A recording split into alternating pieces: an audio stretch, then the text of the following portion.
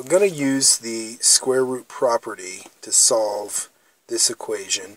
And um, so this means that I'm going to take the square root of both sides in order to get rid of this square and to get to this x, make sure this x is by itself on one side of the equation. So I'm going to start out by taking the square root of both sides.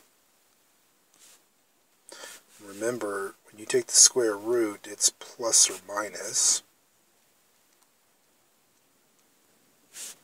The square root of x minus 7 squared is just x minus 7. There's no more radical anymore, and there's no square.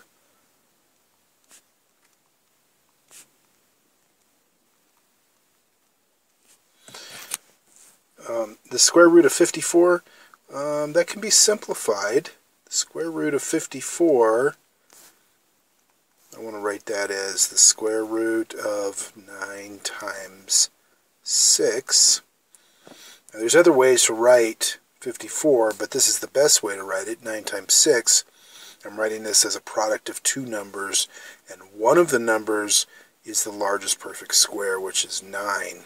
So now, the square root of 9, that's 3, times the square root of 6.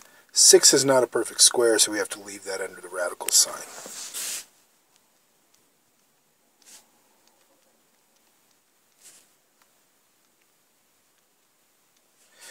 Okay, and the last thing I need to do is just add 7 to both sides, and I'll have x by itself on one side of the equation.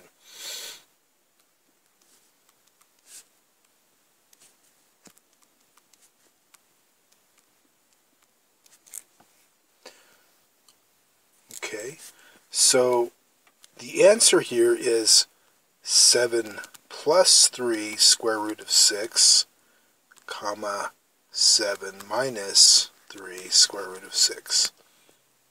And that's it.